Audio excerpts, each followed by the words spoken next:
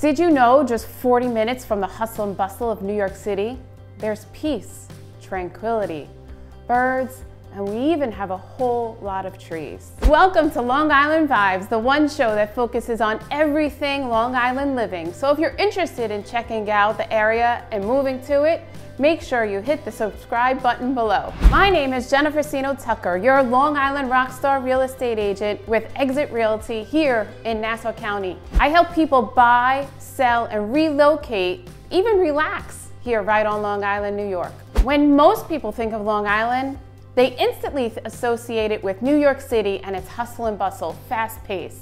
But what most people don't know is that Long Island isn't like New York City at all. We have single family houses that don't cost seven figures. We have yards kids can play in. We also have a large amount of space and square footage. And one of the best parts about Long Island is we actually have beaches. Having been born and raised here my entire life, Long Island is a wonderful place to raise a family and live. We're close enough to the city so that you can visit when you want to, but you don't actually have to live in it. Long Island living might be some of the best in New York, and this show is really dedicated to all of that.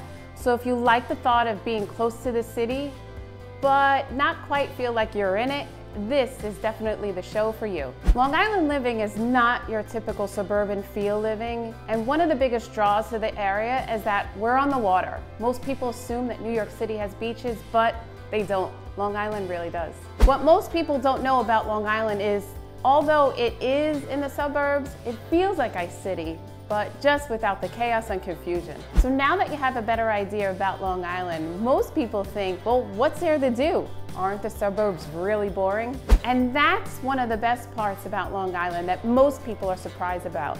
Did you know that we have over 40 museums? We have some of the best restaurants, and no, we don't have to go to the city to enjoy them.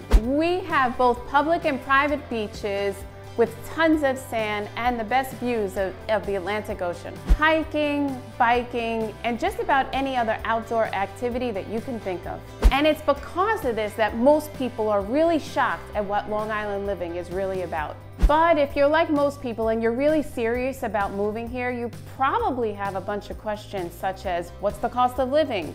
How long does it take to commute into New York, and even what are some of the best neighborhoods and school districts to move into. Well, on Long Island Vibes, we'll be giving you all that community information so that you can be better adjusted and better informed to what living here is really like. And if you're really interested in moving here, you probably want to know what you get for your money. This is a real estate show, so I want to make it super simple for you to understand exactly what money buys you right here on Long Island. We'll be checking out different neighborhoods, projects, beaches, and so many more things. So now that you have an idea of exactly what the show is all about, and you like what you hear, or you love living here on Long Island as much as we do, then make sure you hit the subscribe button below.